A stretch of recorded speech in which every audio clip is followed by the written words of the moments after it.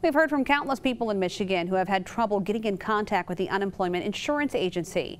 Now, lawmakers want unemployment offices to open back up. Fox 47's Kylie Kahn asked the director when that could happen.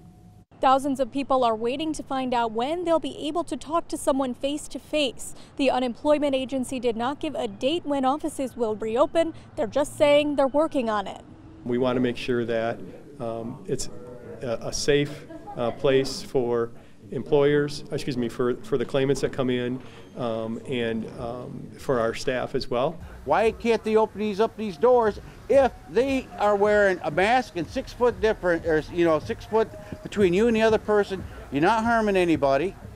Let's start taking care of the people. Several lawmakers are pushing the UIA to open offices soon, saying it will provide some hope.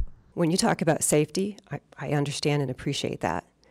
But when we heard on the Zoom call that that woman was facing an individual who was threatening suicide, that's not the first case we've heard. There are safety concerns in a wide variety of these issues. I really do feel like we need more local offices. I mean, the, at, the, at the end of the day, uh, we can open local offices, but uh, it's not that helpful if we have a 10 hour waits like they had in Kentucky. During a hearing Wednesday morning, legislators also pushed for an update on those accounts flagged for potential fraud.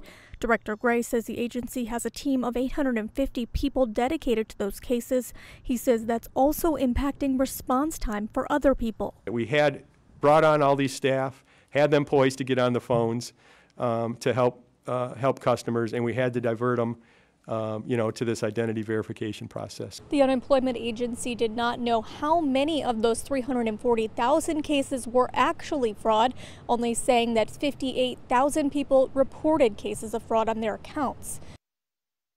And that was Kylie Kahn reporting. The agency's director also said flaws in the system make it difficult to get accurate and timely data. Some lawmakers say the UIA is not communicating enough with them, the media, and the people they're serving.